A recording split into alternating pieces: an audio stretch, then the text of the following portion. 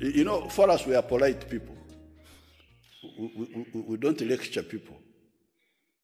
Uh, you see, the Europeans who have, ha- who have got the bad habit of lecturing uh, an experienced man like me, you find I'm getting lectures from, from novices.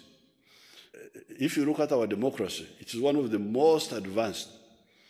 We have got so many elections. Now we are having elections for youth, for women, for disabled people. You, don't have those in your country. So I can say that your democracy is shallow, but that's your own business.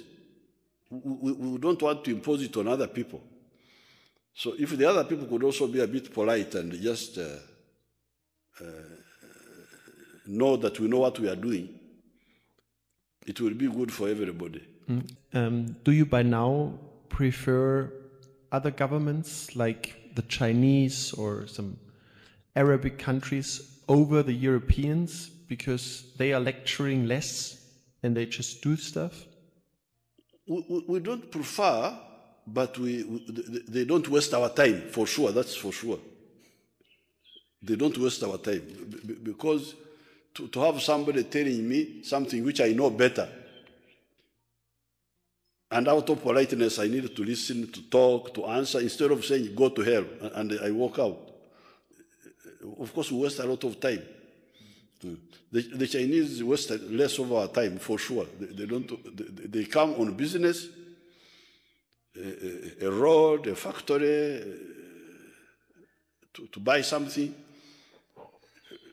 Management of, of, of our affairs is ours.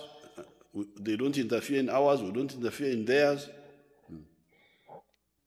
As you're such an experienced leader, if you if you look throughout the last years, maybe even decades, do you see that there is some sort of of change that the role of, of China in Africa, not only in Uganda but in Africa, is growing, and that Western powers, the Europeans, the Americans, are rather disappearing, or how do you observe the situation? The, the problem we have is, is superficiality. Do you have that word in English? Superficial.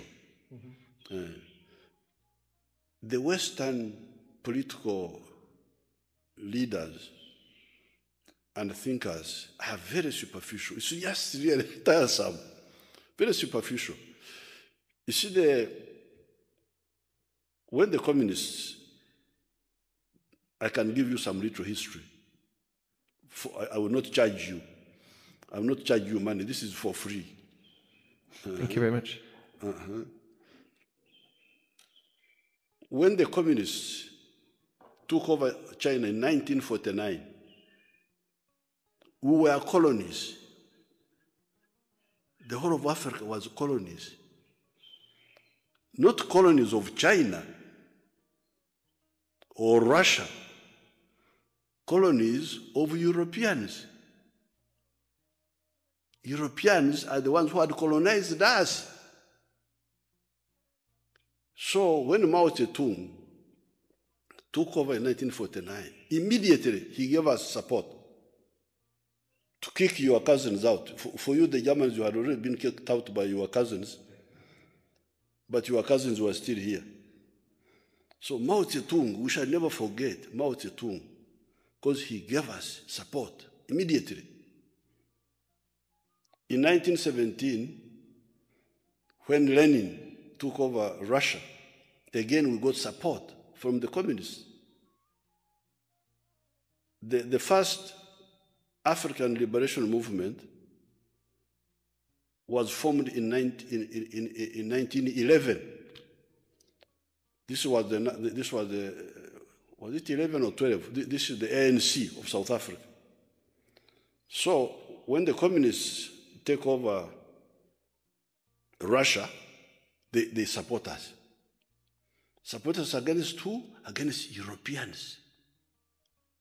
Who had done what? Who had colonized our country.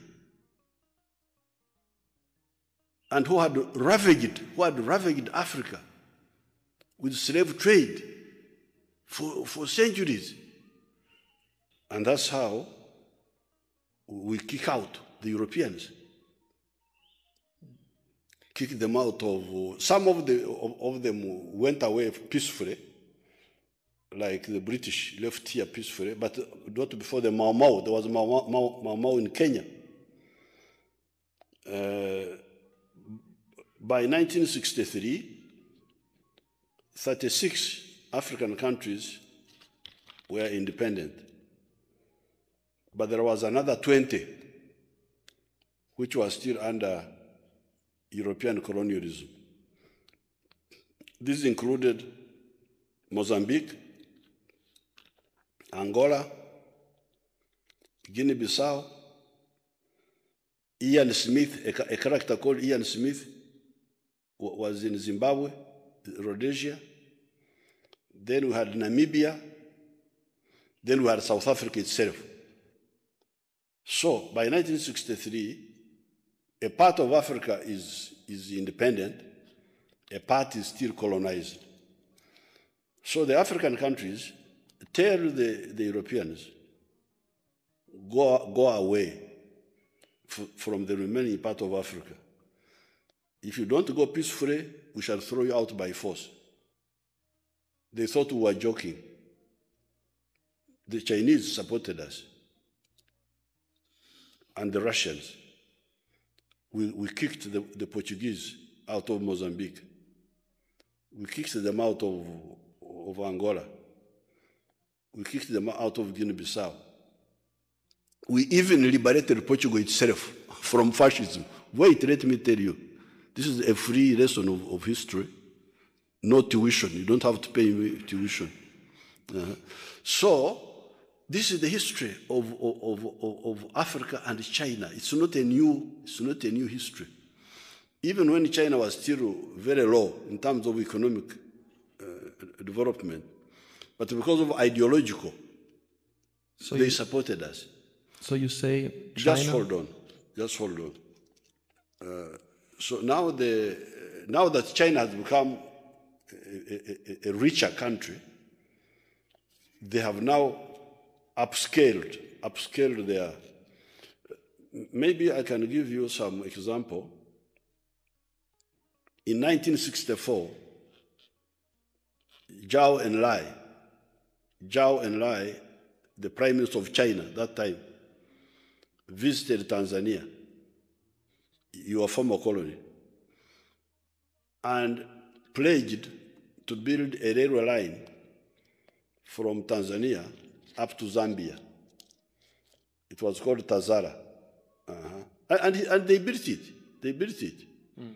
They built it. They were still backward economically. They were not very, very, very rich, but they built it, the Chinese. The Tazara Railway, officially known as the Tanzania Zambia Railway Authority, is a significant infrastructure project between landlocked Zambia and the port of Dar es Salaam in Tanzania. The railway spans approximately 1860 kilometers and remains a major symbol of Sino African cooperation. So now that they are much richer, they are, they are upscaling our cooperation with them, which was originally political, diplomatic. Of course, we were also supporting China in the UN because the Western countries had kept China out, out of, the, of the UN, out of the Security Council. So we were supporting them uh, to, to come